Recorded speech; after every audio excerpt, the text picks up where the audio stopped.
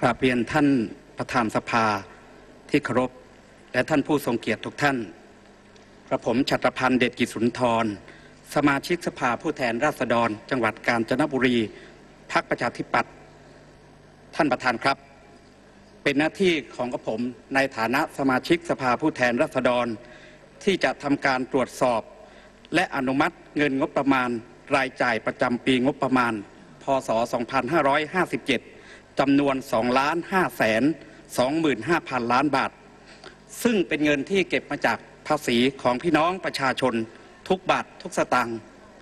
และผมก็หวังว่า หลังจากที่กรรมาธิการได้ไปพิจารณาแล้ว จะได้มีการปรับเปลี่ยนดูความเหมาะสมในการจัดงบประมาณของทุกหน่วยงาน และจะคำนึงถึงยุทธศาสตร์ การเตรียมความพร้อม ของประเทศในอนาคต และวินัยทางการเงินการคลัง เพื่อขับเคลื่อนนโยบายในการบริหารราชการแผ่นดิน ที่สำคัญงบประมาณที่เราเก็บมาจากภาษีของพี่น้องประชาชนเหล่านี้ ซึ่งผมหวังเป็นอย่างยิ่งว่าจะได้มีโอกาสไปลดความเหลื่อมล้ำและสร้างอนาคตให้แก่ประเทศ ท่านประธานครับ แต่เมื่อผมได้พิจารณารายละเอียด หลายมาตรา หลายกระทรวงแล้วต้องบอกว่าผิดหวังอย่างที่สุดครับ และผมไม่ลังเลใจเลยครับ ที่จะขอปรับลดงบประมาณลง 10%เพราะผมเห็นว่างบประมาณเหล่านี้ไม่ได้ตอบโจทย์ที่จะลดความเหลื่อมล้ำทางเศรษฐกิจที่มีอยู่สูง ไม่ได้ช่วยยกระดับชีวิต และช่วยเหลือแก้ไขปัญหาความยากจนของพี่น้องประชาชน แต่หากเป็นการซ้ำเติม คนจนในระยะยาว ท่านประธานครับมิหนำซ้ำหนี้ครัวเรือนซึ่งเป็นปัญหาใหญ่ที่สุดของประเทศ ก็ไม่ได้รับการเอาใจใส่แก้ไขปัญหา ท่านประธานครับ โดยเฉพาะมีเพื่อนสมาชิกหลายท่าน ได้อภิปรายเรื่องรถคันแรก ซึ่งเราใช้เงินหลายหมื่นล้านบาท ผมผิดหวังจริง ๆ ที่คณะกรรมาการ วิสามันไม่ได้ทบทวนประเด็นนี้ เพราะในขณะนี้ผมทราบว่าผู้ที่ได้ใช้สิทธิ์ซื้อรถคันแรกนั้น มีประมาณ 300 คนแล้วครับ ที่ถูกไฟแนนซ์ยึดรถยนต์ไปแล้ว และรอถูกยึดอีกหลายพันราย เราจะแก้ปัญหาอย่างนี้อย่างไรครับ ท่านประธานครับ อีกเรื่องหนึ่งที่ผมต้องบอกว่า รัฐบาลและกรรมาธิการไม่ได้พิจารณาให้ถ่องแท้ นั่นคือภาระหนี้ของประชาชน มีงบประมาณหน่วยงานไหนบ้างครับ ที่เขียนและจัดสรรงบประมาณและบอกว่าจะช่วยปลดหนี้ให้แก่ประชาชน ไม่มีเลยครับ ที่ท่านบอกว่าจะล้างหนี้ให้ประเทศ สร้างรายได้ให้ประชาชน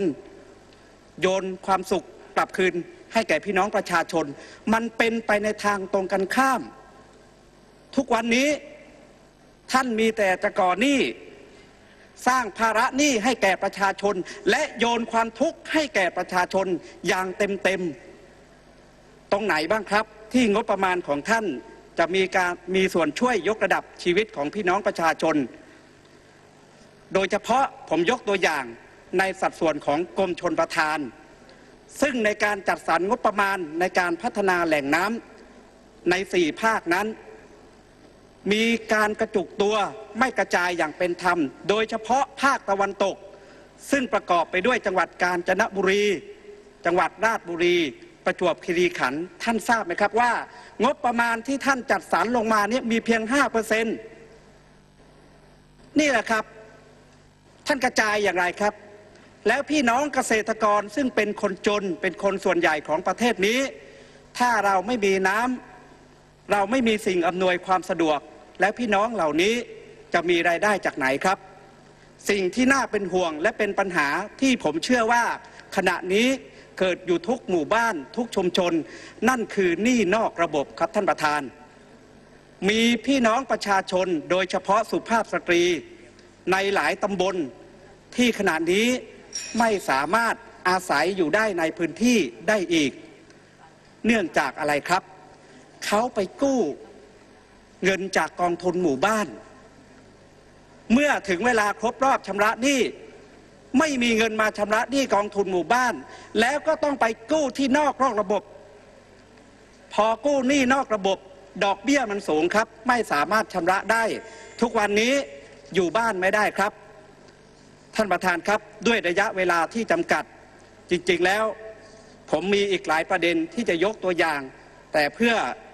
จะได้ให้โอกาสแก่สมาชิกที่เหลืออยู่ ผมก็ขอจบการอภิปรายแค่นี้ และก็จะใช้สิทธิ์ในการอภิปรายในรายมาตรา